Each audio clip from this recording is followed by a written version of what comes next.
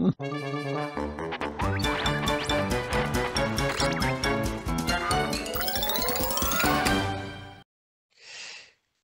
dug up a couple of whistle toys which I wasn't really aware of. So this one particularly is an extraordinary one which I must show.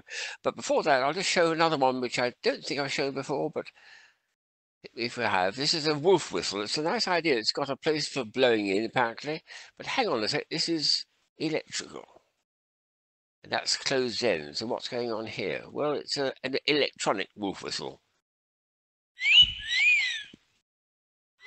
How do I do that without blowing? Well, those are two terminals here. And when I put my wet tongue on it, or that, it'll start making a whistling sound. Quite nice.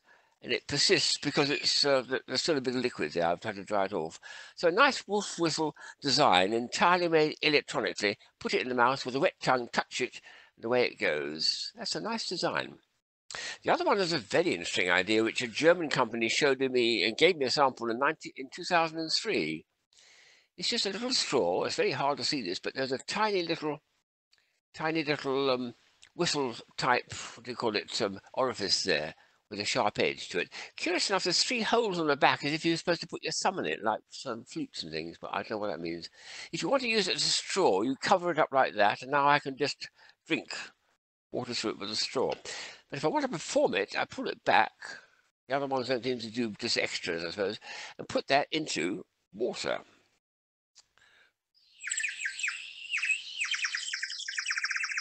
That's not bad at all, is it?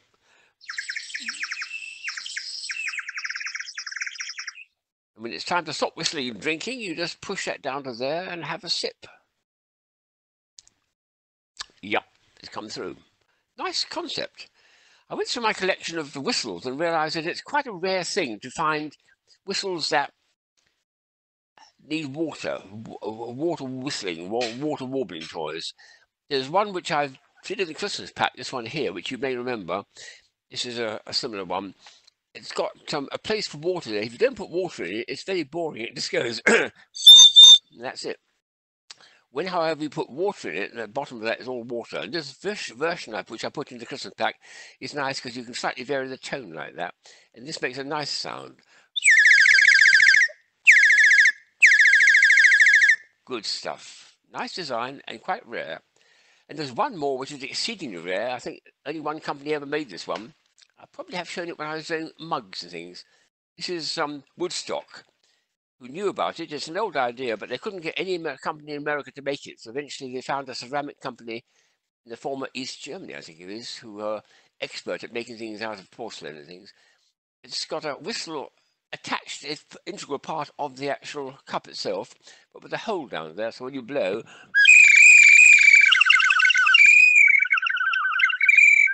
in between sips of cups of tea, it makes a jolly nice sound of a of a warbling sound of of a. I don't think anyone's ever reproduced that since then, so that's a real rarity. Beautiful. Thought I'd just finish off this short video by showing um a bubble toy which had suddenly emerged. I did some, no, sort of skipping toy, that's right, but it does bubbles. I found this when I was showing my skipping toys, these things. They call it uh, jump ropes, don't they?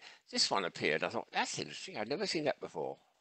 Two days later, when I'm clearing out my um, cupboard under the stairs, what emerges, which I haven't seen for about 25, 30 years, is exactly that. Brilliant. You put bubble mixture in here, you put bubble mixture in here. I think I must try it when we get back to the studio. We can do bubble toys outdoors, etc. The idea is you hold it like that, and the bubble mixture trickles down here and covers this with films all there. It covers the little little bubble one of the films, when it's whirling through the air, the air is going to push through and make the bubbles erupt and come out of it. So you'll get this scenario, hopefully, like that. Nice idea. Never seen it before. Never played with it. Well, incidentally, attached to this was one other thing, which is not even to do with um, skipping rope, but just another bubble toy, which I've never seen before. I must have seen it because I put it away myself. There we are. So this is a nice concept. Look at that. You dip that into a bowl of bubble mixture and wave it the air.